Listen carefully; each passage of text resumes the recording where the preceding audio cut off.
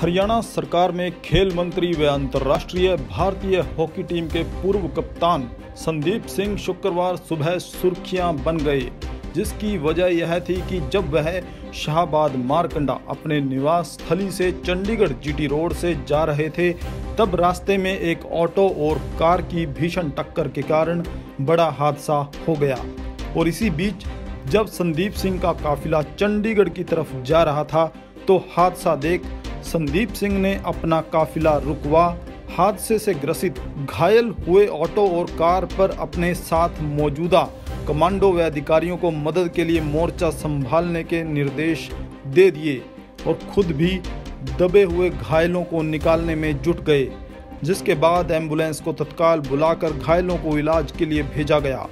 सबसे बड़ी बात यह देखने को मिली है कि मंत्री संदीप सिंह ने इसकी सूचना स्वयं फेसबुक पर पोस्ट डाल कर दी। इस पोस्ट में उनकी तरफ़ से एक भावुक संदेश जनता के लिए यह था कि आम लोग भी ऐसे किसी पीड़ित की मदद के लिए आगे आते रहें।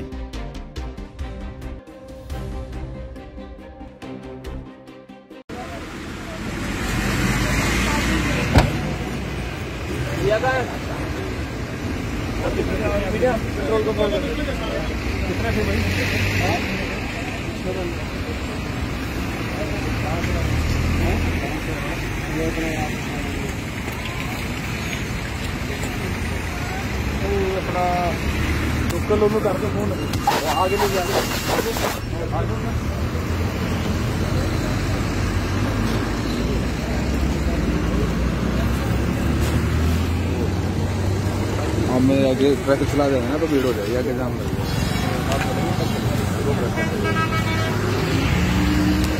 ताज़ा अपडेट्स व बड़ी खबरों के लिए सब्सक्राइब करें आज प्रकाश टीवी और बेल आइकन दबाना न भूलें।